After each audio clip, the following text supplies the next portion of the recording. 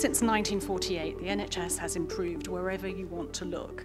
Outcomes, throughput, infrastructure, data, and so on. The late Lord Walton once wrote that just before the NHS began, one of his first assignments was to be a locum for a single-handed GP in Northumberland who hadn't had a holiday for five years.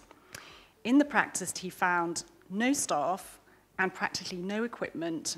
Whatever we've done since then, the NHS has changed beyond recognition and the public is broadly satisfied with it. So why not just continue just as we are?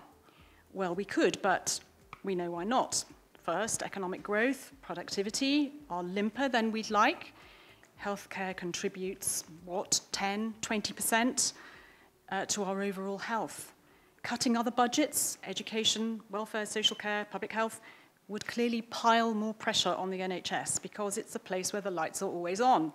It's the safety net of the safety net. Second reason, quality of care is clearly improving at a respectable rate in many areas, but we still trail behind other nations we like to compare ourselves with. You might conclude from that you get what you pay for. But the OECD was puzzled why the excess of initiatives sweeping the country hadn't translated into more improvement. The third reason why we can't just carry on is that we know about the pressure stacking up that will severely affect demand and supply in future. And fourth, to continue just as we are would be to accept a slower speed to a healthier future. Big opportunities are visible, which you know about AI, robotics, machine learning, genomics, virtual reality, and so on.